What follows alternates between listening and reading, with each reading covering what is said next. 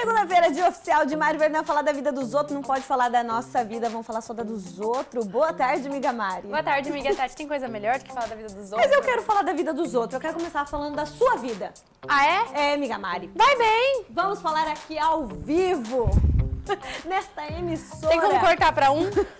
Corta pra um, Não, produção. vai passar vergonha na 3. Do meu ladinho, amiga Mari me deixou na mão, vacilou hoje no treino, fui treinar sozinha. Fui treinar sozinha. Que isso não se repita, amiga Mari. Mas eu falei pra você que eu não iria, você podia falar. Ai, amiga Maria, eu vou com você à tarde também. Eu já estava tomada banho, trocada, madruguei pra ir treinar e você não me acompanhou. Perdi a hora. Vamos ver se isso vai acontecer amanhã. Não. Até porque se acontecer amanhã, vai acontecer depois e depois eu nunca mais volto E de aí, manhã. ó, aí vai perder o freguês. Não, vai ser de manhã. Mas mesmo. hoje você vai após o programa? Sim, sim, sim, sim. Senti muita firmeza não, hein? Eu quero, eu quero imagens. Eu vou ter. Eu, Nós eu vamos fazer vou, babados e boatos segunda-feira que vem só do seu book. Eu vou postar. Combinado. Pronto, tá feita aqui a minha denúncia de abandono de incapaz na Falou academia já da minha vida que eu deixei ela ir na academia sozinha. Tá bom, vamos falar da vida dos outros agora? Agora sim, Deixa. pronto, já fiz aqui o meu desabafo, já contei o babado que eu tinha pra contar. que Miga Mari posta que é fitness mais falta da academia. De Pronto. manhã. À tarde nós A ideia foi lá. sua. É. A ideia foi toda minha. Mas, amiga, vamos falar Vamos, eu da sei que vida você dos vai outros? começar com música misturada com cinema. É isso? Música misturada com videogame. Um videogame. Aham. Entendi. O que que você Estamos falando de Anitta.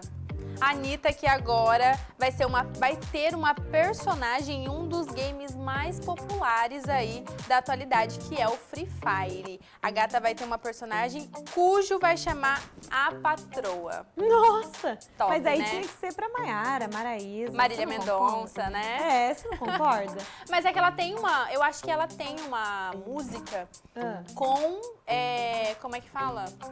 As, as coleguinhas. Ah, Ela tem uma música que é com A Anitta?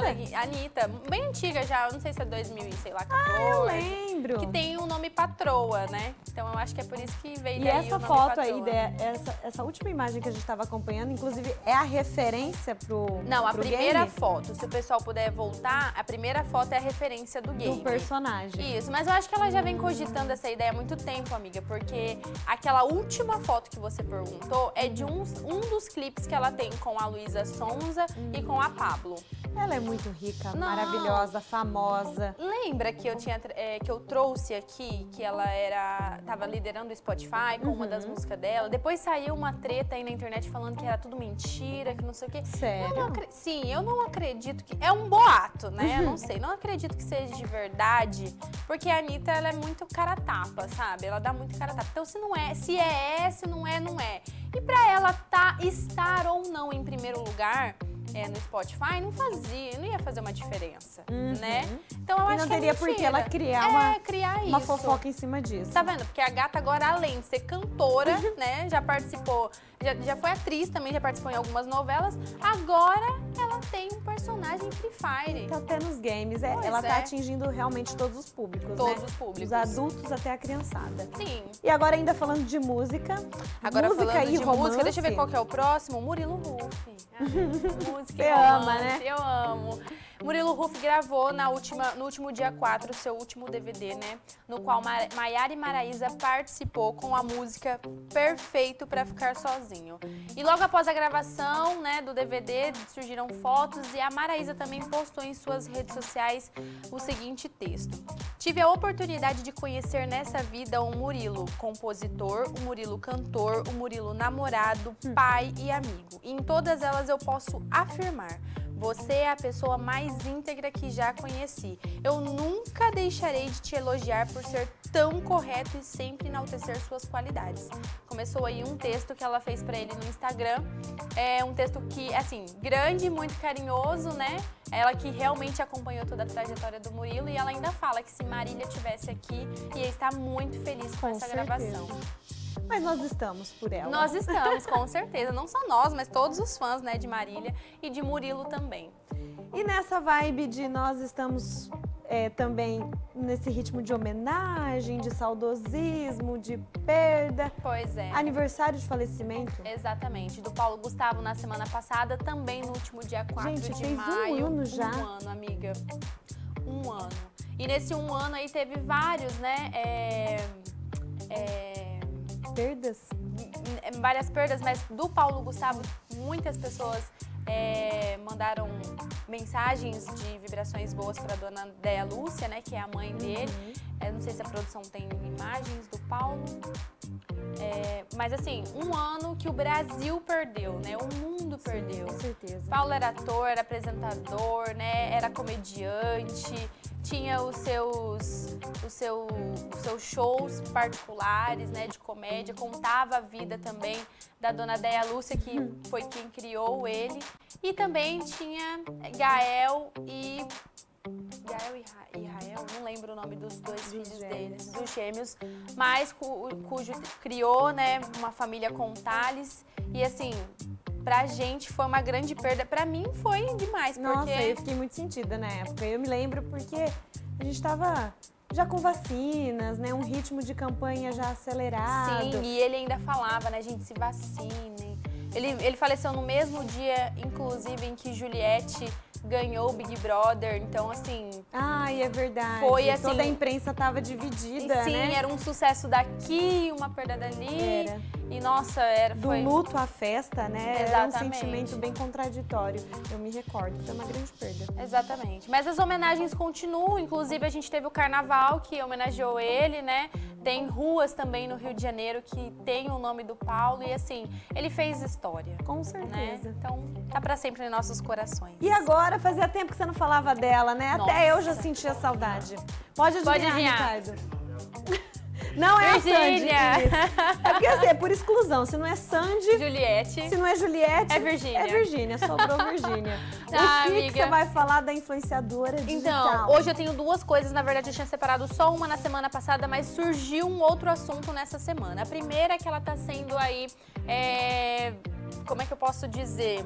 O pessoal tá atacando ela na rede social Eita. por ela ser mãe, né, da, da Maria Alice e ter uma babá pra ajudá-la. E agora está grávida do segundo filho, que a gente ainda não sabe o sexo. Ela postou um vídeo nas redes sociais que ela recebeu vários ataques e ela fala disso nos stories dela, né? Gente, eu não Gente. vejo por quê. Porque se eu fosse ela, ela tem o quê? 22 anos? Eu não sei, 21. Ela é Super jovem. novíssima, no- jovem. Eu também ia ter vários filhos, ia ter condições, né, de, de ter uma pessoa ali. Que mãe que não quer? A gente sabe que mãe tem uma responsabilidade imensa, né? que só Principalmente a compete a ela. não Exatamente, terceirizar. não tem, não tem como terceirizar. Mas assim, uma ajuda, né? Dar um banho, a gente sabe que sono, ainda mais na vida da, da, da Virgínia, que é super corrida, é avião tá aqui, é avião tá lá, o marido tá não sei na onde.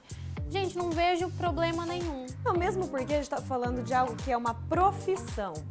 A babá é uma profissão, não é um Exatamente. trabalho escravo, não é algo informal. Ela está sendo registrada e recebendo para exercer tal atividade.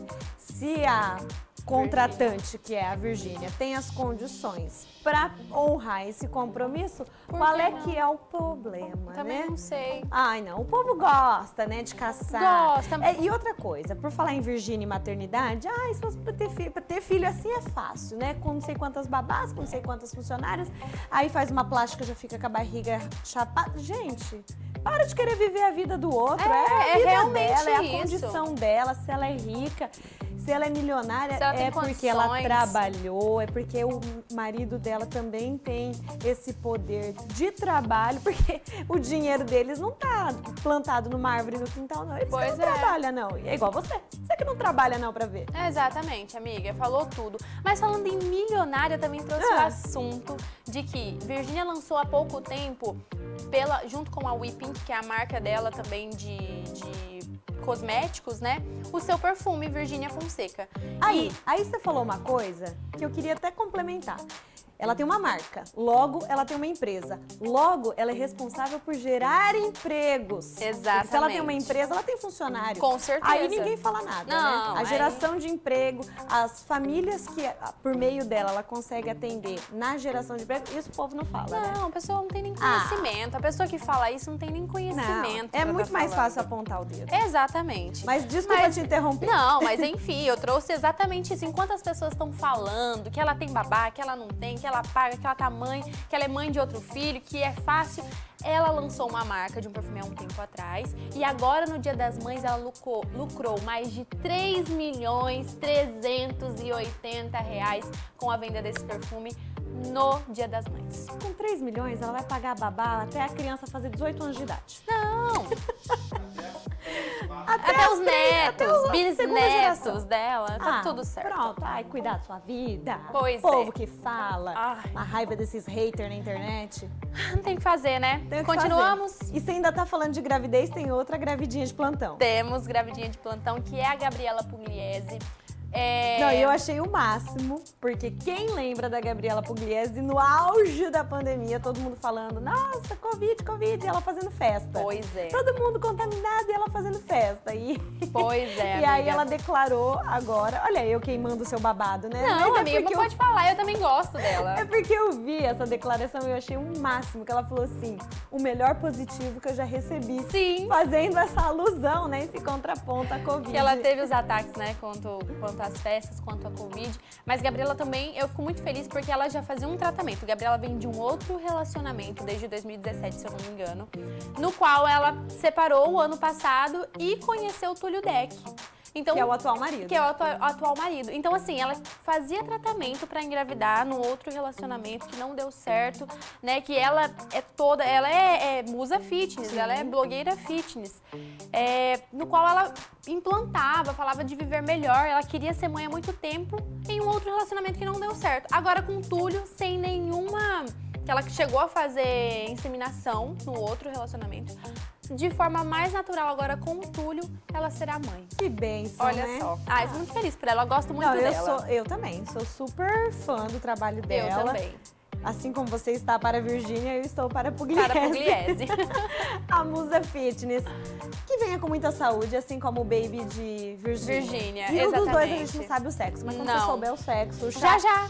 Se você for convidada pro chá de fralda, Te aviso. Você me avisa, Trago também. A Gabriela já tá na 14 semana, viu, de gravidez. Da Virgínia ainda não sei, acho que ela tá um pouquinho à frente. Mas a Gabriela já tá na 14 semana. Ela só publicou agora, né? Porque tem aqueles Daqui primeiros já chega o meses. convite. Já já chega o convite, a gente saberá qual, qual será o sexo. tá jóia. Amiga, obrigada por ter vindo aqui hoje. Te espero quarta-feira com o Mari Help.